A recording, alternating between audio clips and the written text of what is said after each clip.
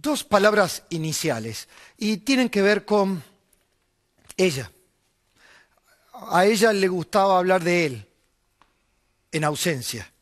Ella y él terminan, él en ausencia, ella en presencia, terminan como gobernaron.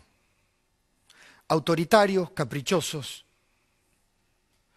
eh, creyendo que la patria se inventó el 25 de mayo de 2003, que los próceres están hechos a medida, están hechos a medida que la historia habría, había que reescribirla, que los derechos humanos les pertenecen.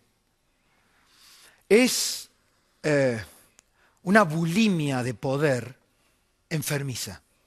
La presidenta de la Nación logró lo que quería, que el final terminara en escándalo, que los argentinos nos priváramos de la fiesta de la alternancia.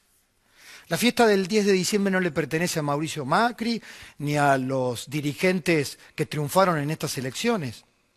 Si la democracia es una fiesta, la alternancia es la fiesta en la fiesta.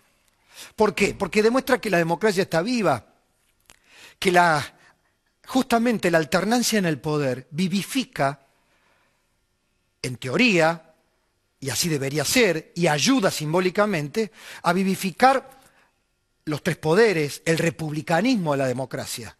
Porque unos pasan al lugar que tenían los otros, oficialistas y opositores. Porque eso permite que el Estado respire, que el Estado se renueve, que no queden enquistadas micromafias, negocios del poder, que deban rendir cuentas los que vienen, los que se van. Esa es la alternancia. La fiesta de pasado mañana es la fiesta de los argentinos que venimos con magullones, con esfuerzo, sosteniendo, apostando por esta democracia. Pero claro, el régimen que se retira, con Cristina Fernández a la cabeza, se va como gobernó.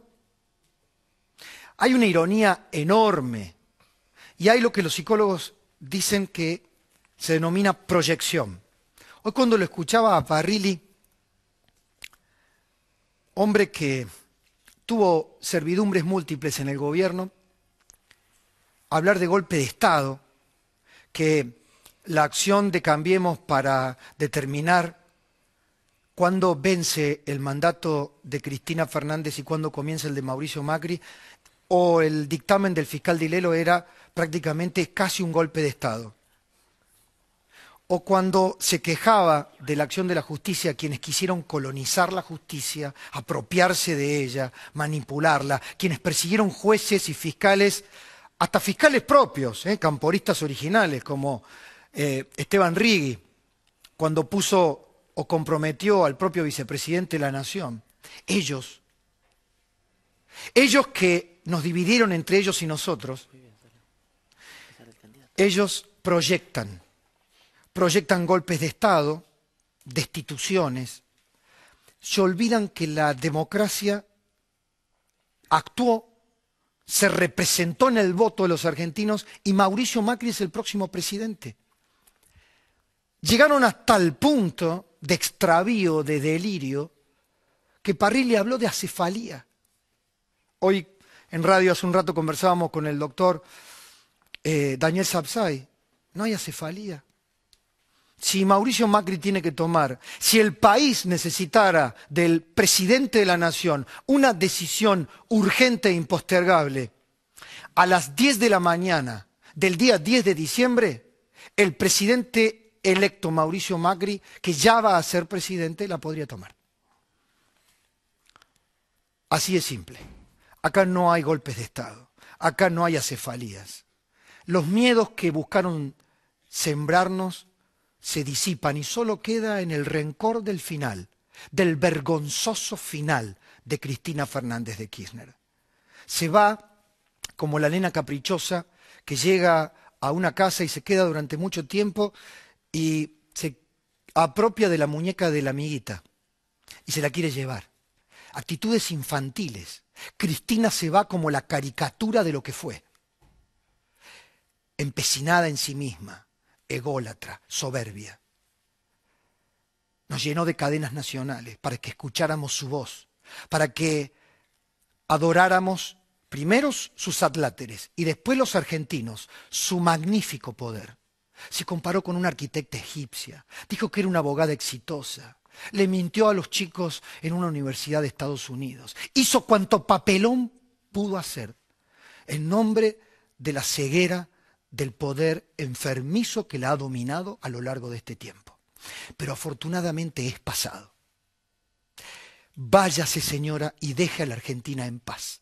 La Argentina sigue cuando usted se vaya. La Argentina sigue en todos nosotros, en las generaciones que estamos, que trabajamos y que seguiremos apostando por una democracia que no le pertenece a usted. Tanto empecinamiento por, lugar, por buscarse un lugar en el bronce que termina embarrada en su propio lodo. Bueno, toda una metáfora. Se me ocurren muchas metáforas, como la del alacrán y la rana. ¿Alguien podía pensar que podía cambiar Cristina Fernández de Kirchner? ¿Nos sorprende lo que está haciendo en este último momento? Es su naturaleza, como la naturaleza del alacrán.